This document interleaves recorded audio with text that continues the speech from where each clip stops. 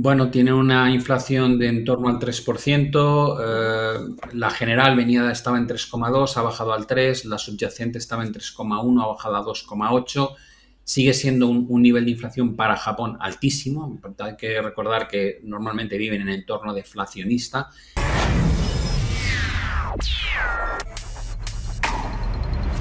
La verdad es que esta semana ha sido bastante complicada porque tenemos sobre todo como telón de fondo esa guerra entre Israel y Hamas, pero además hemos tenido cascada de datos macroeconómicos y numerosos resultados empresariales. Por el lado de los datos, por ejemplo, en Europa hemos tenido eh, algunos mejor de lo previsto, como el ZW en Alemania, y otros pues en línea con lo esperado, como por ejemplo eh, cifras de, de inflación. Eh, los datos eh, que indican de Europa, porque yo en general estoy escuchando a todo el mundo eh, deshacer Europa más positivos en Estados Unidos porque la economía de Estados Unidos sigue resistiendo como una moto. Sí, básicamente tenemos una Europa que no crece, pero tampoco con recesión global. Sí tenemos Alemania que, tiene muy mala pinta, pero agregadamente, digamos que estamos ahí prácticamente en el 0% de crecimiento con una inflación que ha remitido hasta el 4,3 en términos generales, 4,5 en términos subyacentes. Em, queda mucho trabajo por hacer, pero dada la debilidad en términos de crecimiento, es probable que el Banco Central Europeo haga todo lo posible para intentar dejar de subir las tasas de interés y complicar más la situación de cómo ya está. Em, Estados Unidos, el consumo ha salido mejor de lo esperado, la producción industrial también mejor de lo esperada se resiste mucho la economía, pero no olvidemos que es que el estímulo fiscal que ha volcado este año eh, Estados Unidos es brutal. Es decir, que mientras la Reserva Federal está haciendo política monetaria restrictiva y, eh, apretando la soga por el lado del coste del dinero, el gobierno está malgastando los recursos eh, para mantener la economía muy, muy caliente, lo cual es un disparate. Bueno, en Estados Unidos también hemos tenido datos de consumo bastante fuerte, eh, producción industrial, aunque ayer veíamos eh, temas de, ventas de viviendas y ahí sí que flaqueaban un poco, ¿no?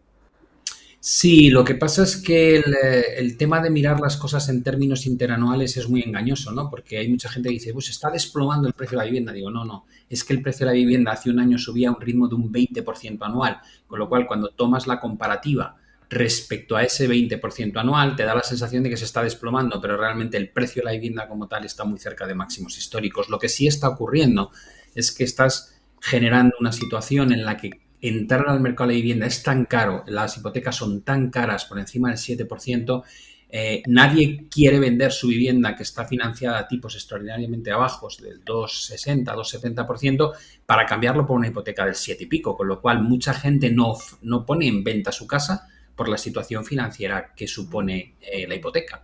Eh, y muchos no pueden acceder porque está carísimo, con lo cual lo que hay es muy pocas transacciones. La macro nos ayuda a ver eh, las grandes magnitudes, ¿no? Pero luego está la micro y ahora estos días estamos conociendo cómo les ha ido a las empresas en el tercer trimestre de este año y algunas ya empiezan a a lanzar previsiones. En Europa, por ejemplo, hemos tenido grandes jugadores del sector auto y del sector consumos. Eh, ¿Cómo, eh, han presentado las cuentas y qué palpitaciones te dan? Bueno, pues de grandes líderes de cada uno de los sectores como Volkswagen, la señal que han mandado al mercado es claramente preocupante en, términos de, ventas previstas y actualización un poco de escenarios que, que bebe para los próximos trimestres. Luego ha publicado en el sector de alimentación Nestlé, también con datos claramente negativos, y lo mismo ha hecho Roche en el sector salud. Por tanto, en Europa, tres iconos de cada uno de estos tres sectores, pues no traen buenas noticias, sino lo contrario. Y cuando te vas a Estados Unidos, Tesla decepcionó bastante con los resultados que publicó, pero quedan mm, prácticamente seis de los siete magníficos. Eh, no olvidemos que eh, toda la subida de la bolsa estadounidense se concentra en siete nombres prácticamente. Eh, veremos qué sacan a partir de aquí, porque cotizan a Pérez de 33 o por encima de 33 cuando la media del SP es 18. Entonces, más vale que no, que no defrauden.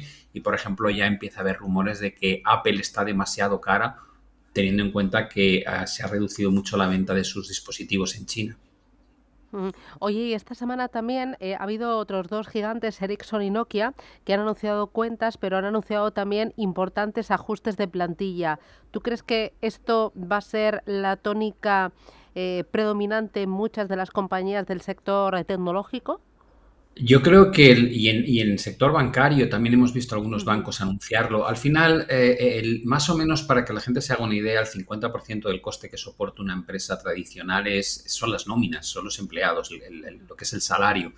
Cuando tú ves que se reduce tu margen de beneficio porque vendes menos, el sitio donde sueles meter mano para intentar mantener eh, el margen de ganancia es reduciendo costes, ¿no? Y, y parece bastante obvio que la reducción de personal es una vía que siempre se ha visto que se tira de ella cuando hay menores beneficios y esta vez no esperaría nada contrario. Es decir, sí, me parece que es una medida que probablemente en, términos de menores ganancias probablemente vas a ver más desempleo. Y luego hemos tenido también cifras destacadas en otra parte del mundo, tanto en China como en Japón. Eh, en Japón la bolsa eh, sigue mostrando un muy buen comportamiento. Este año por fin Japón está aportando rentabilidad a las carteras. Eh, los datos macro, ¿qué es lo que indican ahí en Japón? Bueno, tiene una inflación de en torno al 3%, la general venida estaba en 3,2, ha bajado al 3, la subyacente estaba en 3,1, ha bajado a 2,8 sigue siendo un, nivel de inflación para Japón altísimo. Hay que recordar que normalmente viven en entorno deflacionista em, y a pesar de eso no quieren tocar los tipos del menos 0,10, ¿no? que es bastante absurdo, pero sí está subiendo mucho el coste de financiación en el 10 años, que con esto de que ampliaron el techo hasta el 1% ya está en 0,85%, cuando hace un par de años financiarse al gobierno japonés no le costaba nada porque estaba por debajo del 0%. Em, por el lado de la producción industrial ha sido un poco decepcionante el dato que han sacado. Y en China han venido con datos mejores en general de lo que el mercado estaba esperando. Hemos tenido producción industrial 4,5%, eh, se esperaba 4,3%, el consumo ha salido 5,5%, se esperaba 4,9%, el propio PIB se esperaba un 1%, ha salido 1,3% y donde no hay mejoras todavía, aunque tampoco ha empeorado, es las inversiones en el sector de la vivienda o en el precio de la vivienda. Eso sigue más o menos estancado y todo el mundo espera esa señal para decir China vuelve otra vez a fases de recuperación, pero ya te digo que las bases principales que componen el PIB han salido todas ellas mejor de lo que los analistas estaban, estaban contemplando. Mm, China está siendo la gran decepción de 2023. Igual que la bolsa está siendo la gran sorpresa, ¿no? Porque nadie se esperaba que, sobre todo la primera parte del año 2023, fuera buena para los mercados de acciones, para Europa y para Estados Unidos, y ha sido realmente buena viendo los índices. Eh, y sin embargo, China ha sido la. Mm. La verdad es que el mercado tiene siempre mucha inercia, ¿no? Y lo estamos viendo en el lado bueno y en el malo. Eh, la inercia en China es súper negativa, tanto en términos de, de comportamiento bursátil como en términos de sentimiento, ¿no? Hay una percepción de eh, China es la segunda economía del mundo y no va a crecer ni mucho menos lo que se esperaba, pero, pero todo esto se genera por un cambio de expectativas. En noviembre, diciembre se saltaron eh, todos los analistas diciendo China va a crecer al 5,5-6% porque abandona la, política COVID-0. Eh, y, y, ahora hablan de crecimientos del 5, 5,5. Digo, ya, pero es que eso es lo que pensábamos en noviembre. Simplemente te has calentado y ahora estás volviendo otra vez a la parte de abajo y todo lo que hay de fundamento en China es que te están bajando los tipos de interés, te están haciendo política eh, fiscal expansiva, lo cual a la larga va a generar eh, un suelo y un buen comportamiento. Y en, Europa y en Estados Unidos vemos justo lo contrario, eh, políticas fiscales expansivas en ambas regiones y todavía un efecto de política monetaria que en Europa ya ha hecho, ya ha hecho daño, evidentemente ya no tenemos crecimiento económico, pero en Estados Unidos falta por llegar. ¿Cuánto tiempo va a durar? Esa es siempre la pregunta que nos hacemos los inversores, ¿no? ¿Cuándo, detectas? Pero has tenido el dato de los leading indicators, eh, de economic, economic indicators, el, índice ley en Estados Unidos, y ha vuelto a salir peor de lo previsto, menos 0,7 respecto al menos 0,4 anterior. Tienes tantas indicaciones de que esto va a acabar mal que hay que tener un poquito esa visión tranquila, no estar todos los días eh, sopesando tu visión y decir, bueno, sobre el papel hay un montón de problemas eh, y probablemente tarde o temprano va a llegar. Y cuando llegue va a pasar como con China, va a ser mucho peor de lo que inicialmente la gente pensaba.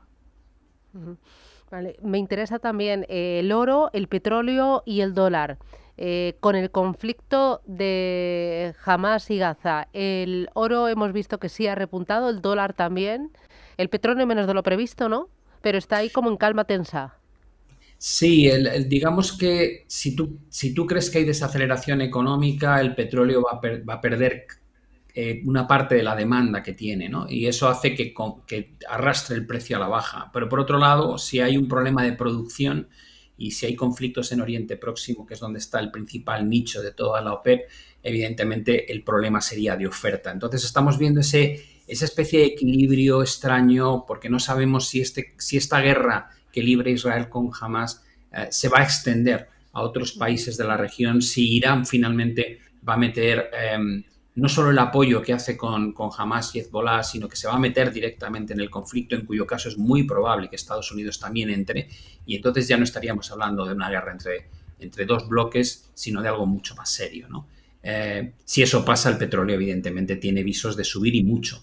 Eh, ahora mismo no se sabe muy bien y por eso estamos ahí en esa cota de 95 o cerca de 95, que son casi los máximos del año. Y luego el oro está a menos de un 5% de sus máximos históricos, con lo cual vuelve a demostrar que en entornos de, de riesgo geopolítico y de inestabilidad es un activo que funciona muy bien, al cual se ha unido Bitcoin, que no está haciéndolo tan bien a lo mejor como el oro en el tramo último, pero Bitcoin ha sido uno de los activos que más ha subido este año con diferencia. Em, ¿Cómo ves el sentimiento de mercado, Pablo?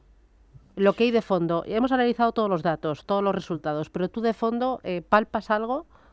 Creo que, el, creo que el inversor está, está rezando para que no ocurra nada, pero no toma, no, no actúa. Y la mejor manera de esto es que tú miras el spread de crédito y no se dispara. Eh, miras la volatilidad, sí ha subido un poco, pero realmente no tanto. Eh, estamos con dos guerras, en Ucrania y, en, y ahora en, entre Israel y Hamas, eh, con, el petróleo que ha repuntado muchísimo desde la cota de los 70. dólares barril, con datos en Europa muy decepcionantes en el plano económico y sin embargo no ves que se traslade un escenario, digamos, de capitulación o nerviosismo. Está todo el mundo como el wait and see, ¿no? Esperar a ver qué ocurre. Eh, creo que hay mucha preocupación de boca, muy poca preocupación plasmada en, los, en las carteras, ¿no? Y, puede pasar que no haga falta plasmarlo porque tengamos una resolución razonablemente eh, buena en el conflicto actual, en cuyo caso veremos una recuperación probablemente de aquí a enero en las bolsas, pero también tienes el otro escenario, ¿no? Que se complique, se amplíe este conflicto a más países, en cuyo caso vamos, lo que, lo que nos vamos a encontrar en la bolsa va a ser realmente feo. Oye, para terminar, la próxima semana hay datos importantes en Estados Unidos, de esos que mira Jerome Powell muy, muy de cerca, ¿verdad?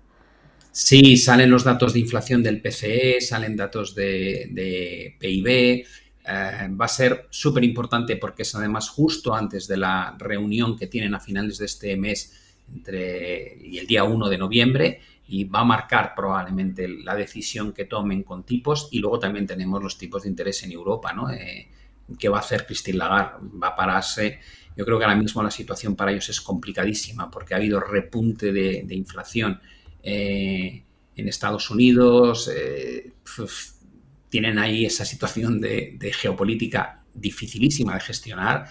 Los republicanos rompieron el, quórum con, eh, cuando despidieron a McCarthy y no sé, tengo la sensación de que tal vez dejen correr un mes más eh, dada la, complicación que tiene analizar la situación en este momento, pero yo no descarto que pueda quedar una subida última de 0,25. Tampoco creo que vaya a cambiar mucho el panorama, el que lo hagan o no.